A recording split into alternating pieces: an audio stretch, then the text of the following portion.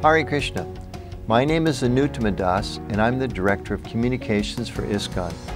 I'm happy to announce that in conjunction with the Bhaktivedanta College, ISKCON Communications is now offering the ISKCON Communications course online.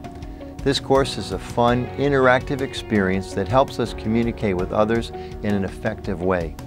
We learn public speaking, how to listen better, and how to build win-win relationships within our devotee communities and with the government, media, our neighbors, and other key audiences.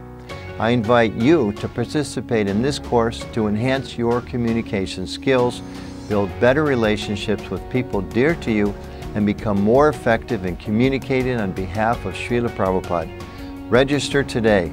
Thank you and Hare Krishna.